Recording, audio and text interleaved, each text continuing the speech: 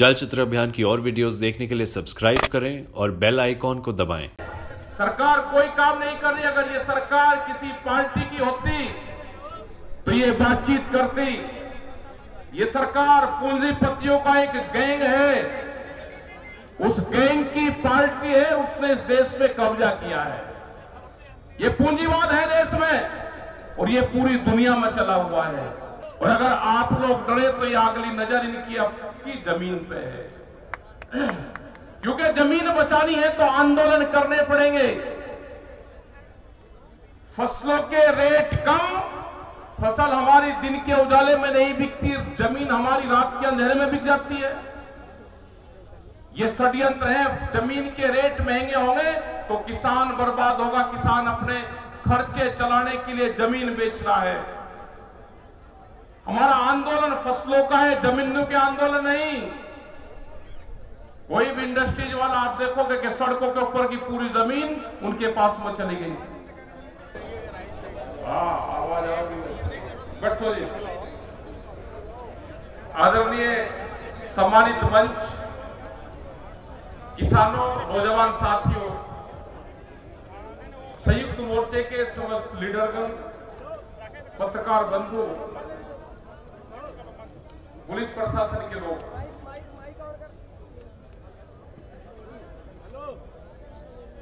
जो मुद्दे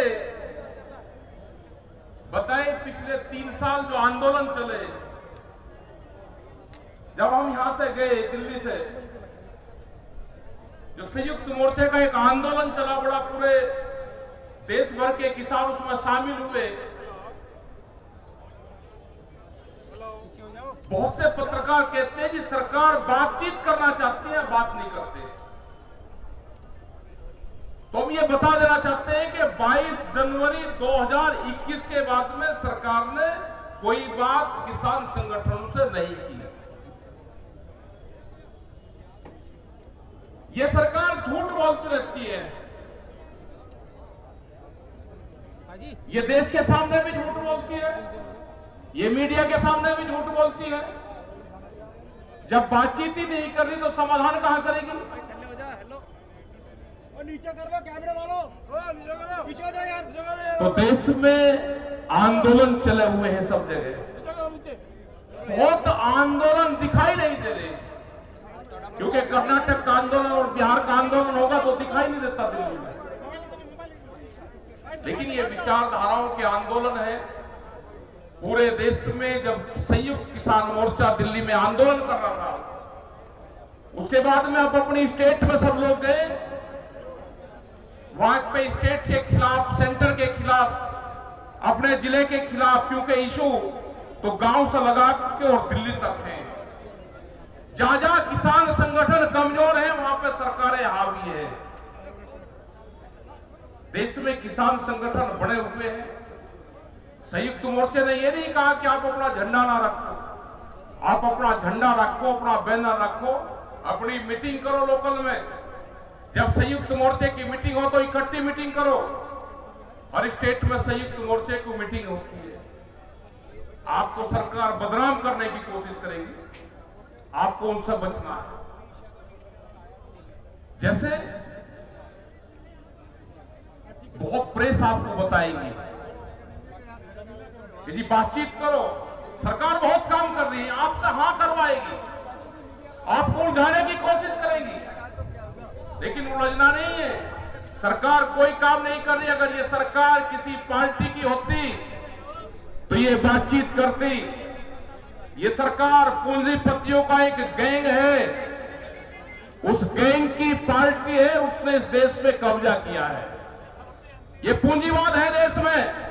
और ये पूरी दुनिया में चला हुआ है। ये आपको उकसाने की कोशिश करेंगे, आपको डराने की कोशिश करेंगे, आपको धमकाने की कोशिश करेंगे। जैसे यहाँ पर हुआ कि दिल्ली में परमिशन दे दी, परमिशन दे दी, लेकिन रात को भी जितने भी लोग आ रहे, उनको रेलवे स्टेशन पर रोका गया। जितने भी अगर बसें भेजी तो बसों वालों को पिटाई करी उनकी। बसें लेकर वे चले गए तो गाँव से भीड़ कैसे आएगी? तो ये काम, ये कर रही है डराने का काम भी करेंगे। और अगर आप लोग डरे तो ये अगली नज़र इनकी आपकी ज़मीन पे है। क्योंकि ज़मीन बचानी है तो आंदोलन करने पड़ेंगे। फ़सलों के रेट कम, फ़सल हमारी दिन के उजाले में नहीं बिकती, ज़मीन हमारी रात के अंधेरे में बिक जाती है। ये षड्यंत्र है, ज़मीन के रेट महँगे होंगे तो किसान बर्बाद होगा, किसान अपने खर्चे चलाने के लिए ज़मीन बेच रहा है। हमारा आंदोलन फ़सलों का है, जमीनों के आंदोलन नहीं। कोई भी इंडस्ट्रीज़ वाला, आप देखोगे कि सड़कों के ऊपर की पूरी ज़मीन उनके पास में चली गई।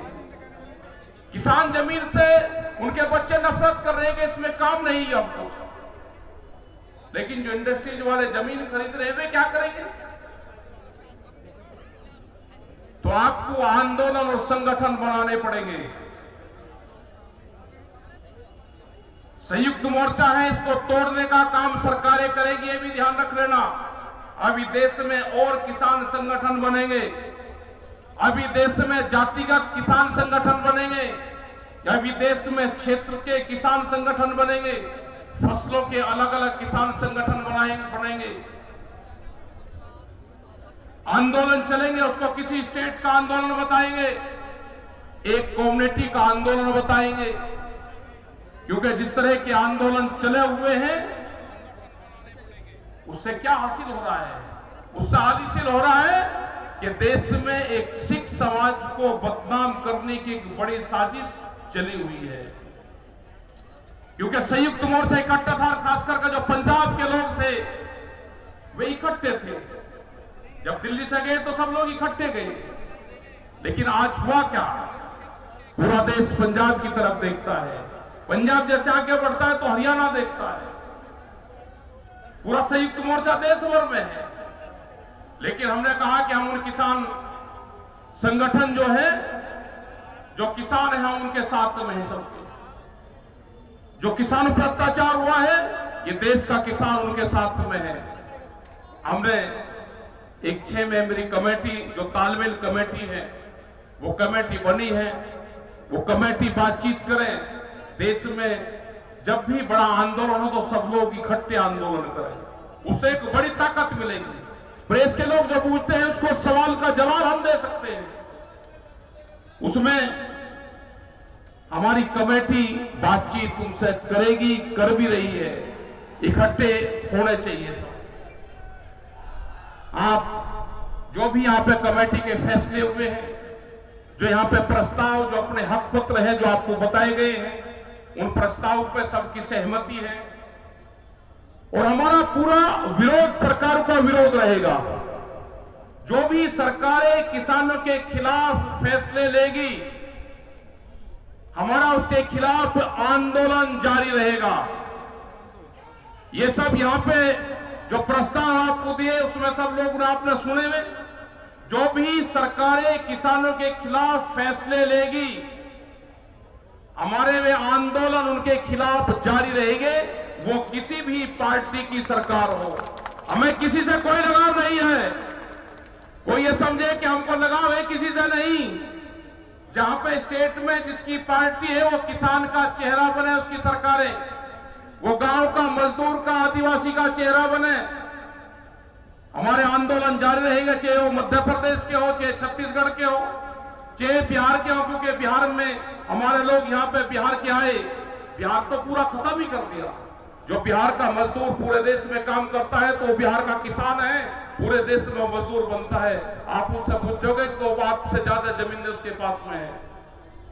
पूरे आदिवासी जो क्षेत्र है छत्तीसगढ़, मध्य प्रदेश और बिहार, झारखंड। जिस तरह से जंगलों को काटा जा रहा है, वे किसान भी आदिवासी आए हुए हैं आपके बीच में। उनकी ट्रेन लेट है, आधा घंटे बाद में आपको यही दिखाई देंगे बहुत लोग। आज आदिवासी संगठन आपके साथ में है। आज कश्मीर और श्रीनगर का किसान संगठन, जो वहाँ का किसान है, आपके साथ में उस संयुक्त मोर्चे पे उसकी विश्वास है, उसकी नज़रें हैं। यहाँ वहाँ पे भी संयुक्त मोर्चे पे काम हो रहा है। तो आप लोग जो आए, आपका धन्यवाद है सभी का। और जो यहाँ पे प्रस्ताव पास करेंगे, हाथ उठाकर सभी उन प्रस्ताव को पास करें सभी लोग। हाथ उठाते रहे। आपका धन्यवाद। जय हिंद, जय भारत। वाहे गुरु जी का खालसा। वाहेगुरु जी की फतेह।